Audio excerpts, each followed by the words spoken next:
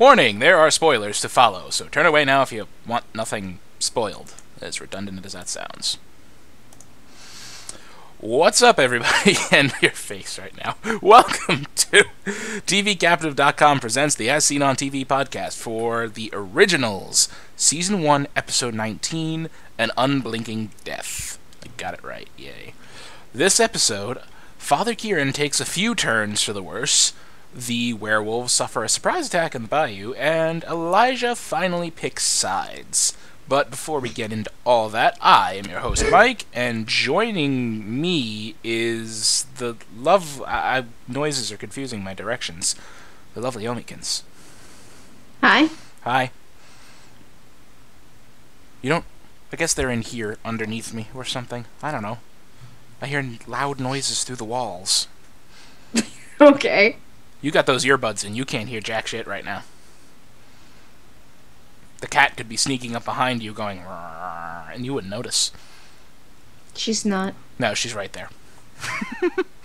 so, what'd you think of this episode? It was um, much better than the last couple. I'm definitely I'm, better than the last.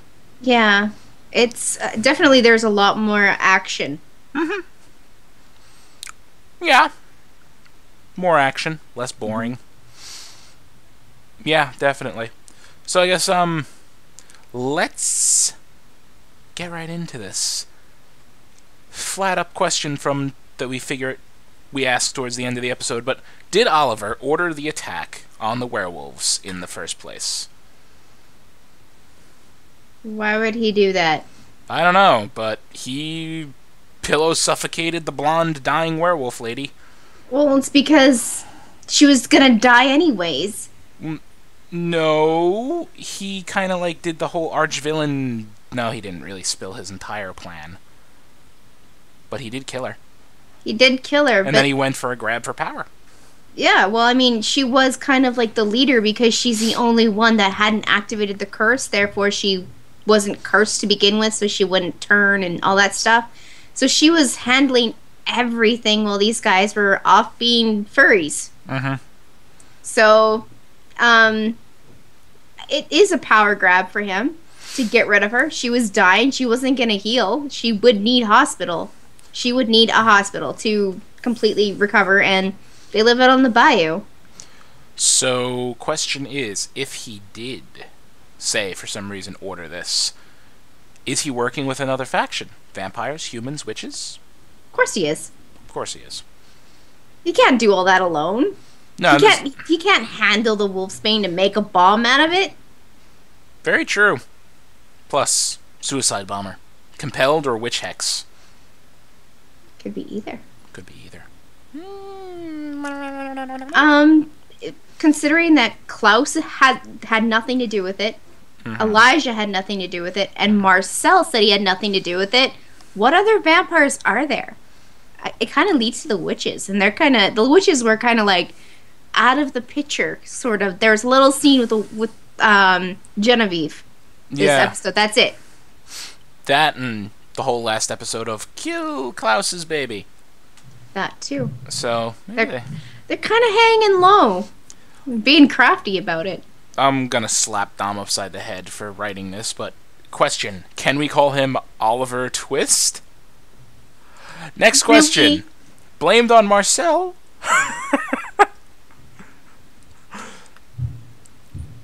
you good? Yeah. You recompose yourself. Head stopped hurting. Why is he not here right now? I want to. I know. I know. Just bop him. Anyway, uh, blamed on Marcel. Effective?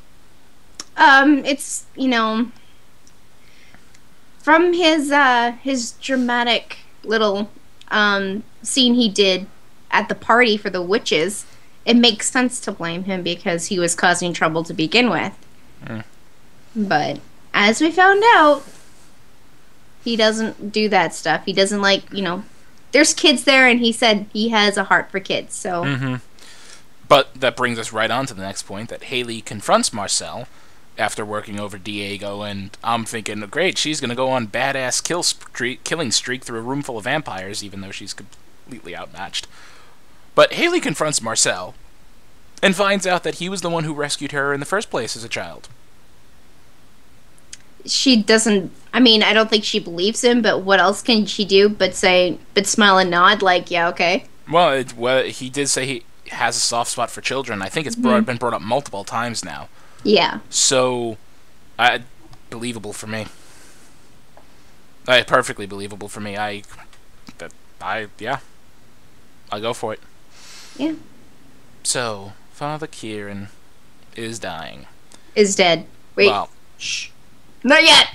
Actually, he is, but not yet. we're we're a few minutes from that yet. Yeah. Ow. Karma I got punched you. my keyboard. Okay, I'm okay.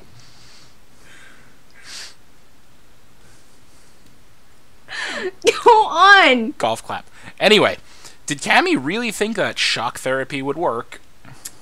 She was desperate. Anything to help along. Maybe, you know, even, you know, curb the hex for a few hours was good for Cami. That she thought it was a good idea. Mm. So, um,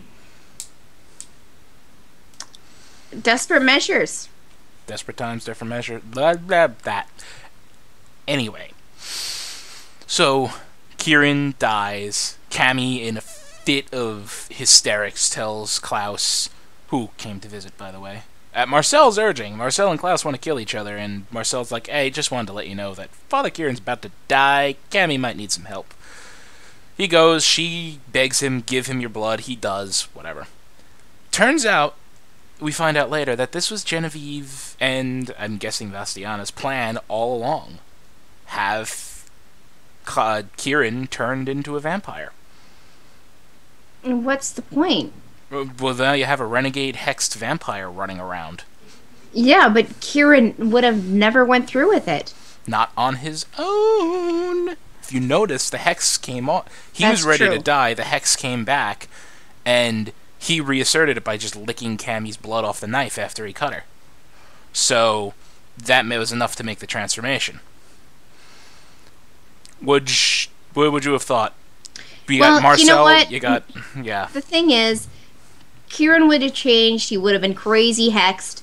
Klaus, all them other peeps would have been like, dude, we're killing you. And he wouldn't last an episode.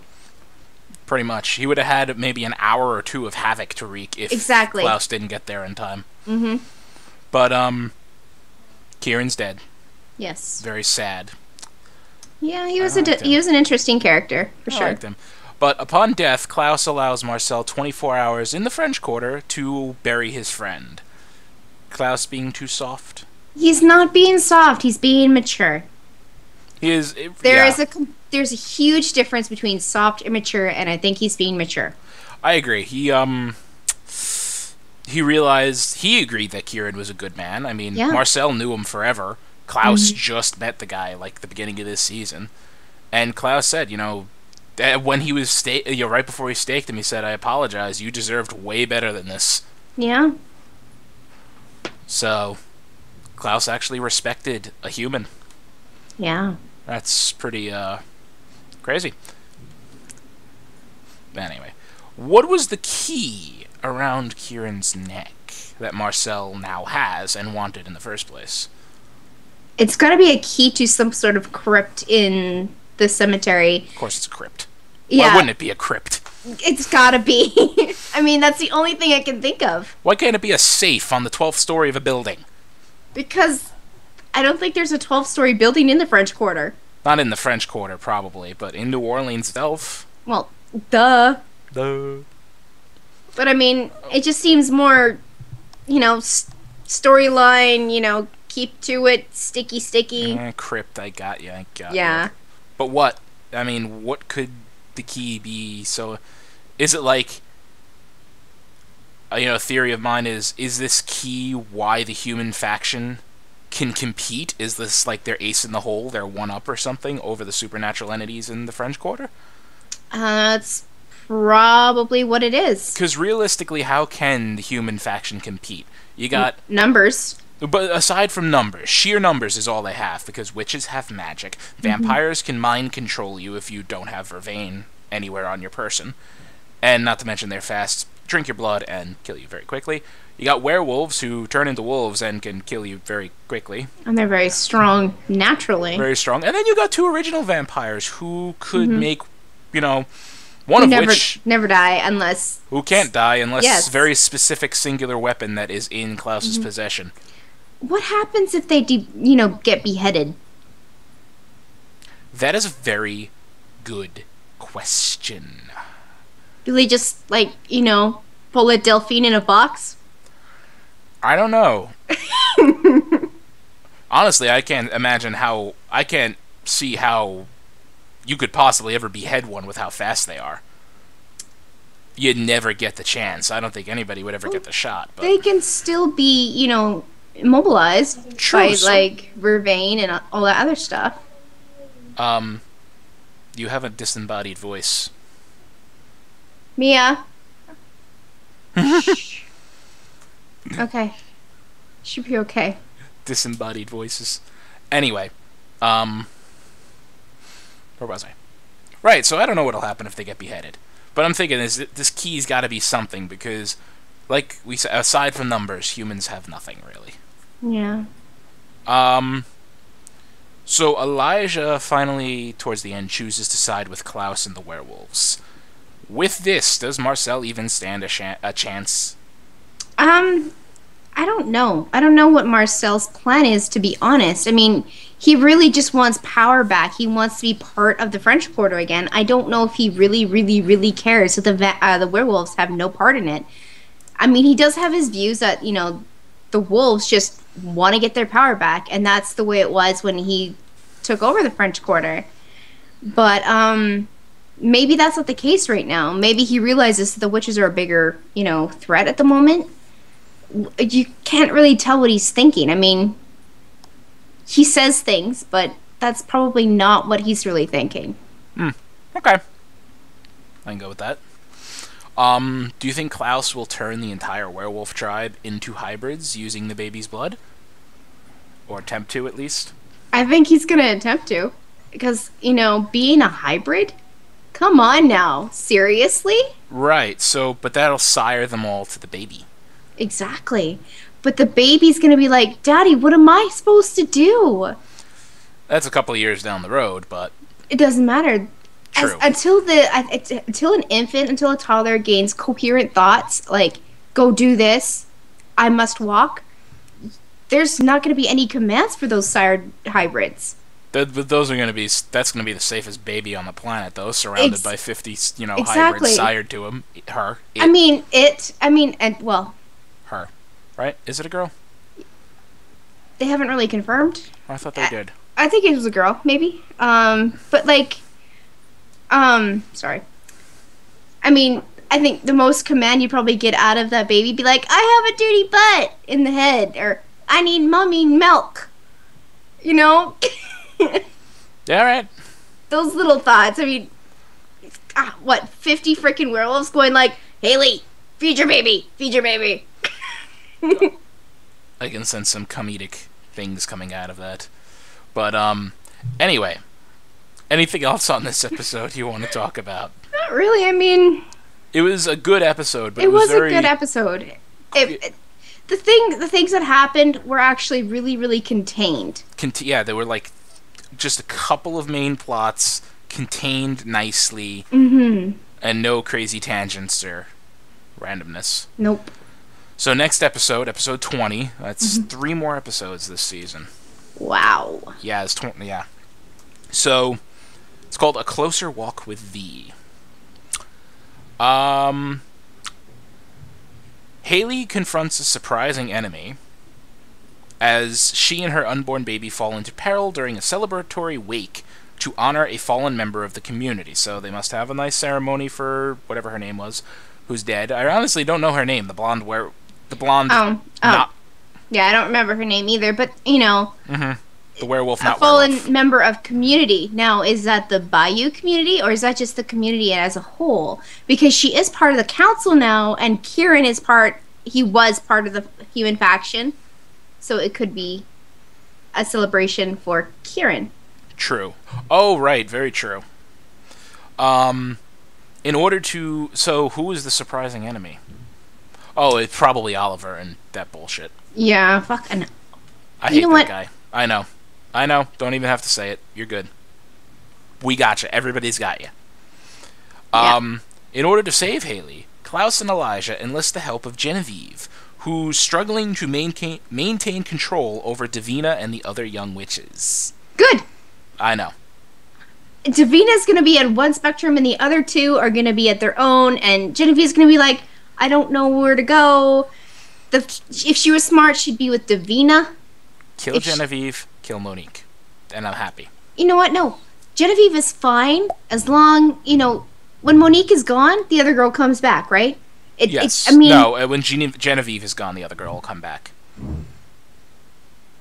right now, Genevieve's taking the the spot of a Harvest Girl, right? Say Monique were to die, that's an open spot in the Harvest Girls. I don't know how that would work exactly, but I- I possible. think- I don't think so, but it's possible. Uh, well, you know, keep punching my fucking keyboard. Anyways, the mouth on this one. it's pissing me off. My freaking knuckles, man. Um, no, I know. I just my freaking knuckles, man. my freaking knuckles. No, I just I'd like to see Genevieve stay over Monique. So if Genevieve can stay, you know, maybe till next season. I just hope Monique is gone. That's I all. agree. So continuing here, Mhm. Camille tells Marcel that Francesca Correa, as in, well, C O R R E A, I, I, Korea, whatever, um, is determined to find a mysterious key that may unlock a family secret. Oh, is that Kieran's key That, that Marcel, Marcel now has? Oh, it was like she's after this key. I don't know what it. Oh, you mean this one? This one? Meanwhile, as Klaus suffers from nightmares of his father Mikael, he is forced to examine his troubled relationship with his own adoptive son, Marcel. Okay, so the other side thing is coming into play here because Mikael would not appear to Klaus unless the other side was in shambles, and this has to do with the Vampire Diaries. Ooh, good point. Very good So- point. Mm, I- unless it's some kind of no, it's got to be some sort of small crossover. It's You're got to right, be, you're you know, right. they're connect. I mean, the shows are connected, but they're just they seem like they're own, they're connected. You know, I, I was gonna say unless it's some kind of werewolf venom induced hallucination, but Klaus can't be affected by that. He's hybrid, uh, or a witch hex or something. But that actually makes a lot of sense. yeah. He's piercing the veil to screw with them. Oh my god. Anyway, think some kind of reconciliation between him and Marcel is coming. Oh, of course. They're not going to get rid of Marcel. Everyone, you know what? Marcel is a lovable character. Marcel is one of the characters like they can't kill off. It's like from Mm. no, it's be like killing off Matt permanently in the Vampire Diaries. No, more N- main you know character what? than Matt. No, Matt can die. Matt, yeah, Matt really serves it's no like killing off Jeremy. There you go. Well, that's that. Next week, eh, that's what we got to look forward to, everybody. Yep. So, lady Omikins, where can the people find you? They can find me on Twitter.